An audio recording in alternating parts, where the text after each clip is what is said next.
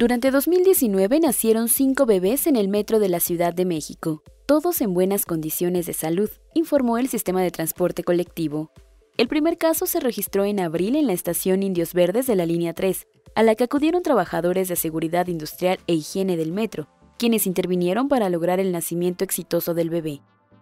En mayo, en la estación Chabacano de la línea 8, una adolescente, tras manifestar tener fuertes contracciones, fue trasladada al cubículo del inspector jefe de estación, sitio en el que nació su bebé.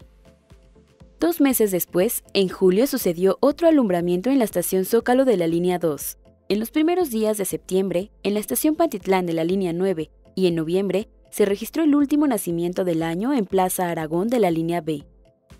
En las cinco situaciones, el personal del Metro de la Ciudad de México, asignado a estaciones, activó la coordinación de apoyo para situaciones de emergencia y solicitó el arribo de ambulancias y la presencia de paramédicos con la finalidad de acelerar los traslados de las madres y sus bebés a centros hospitalarios para continuar con la atención médica especializada.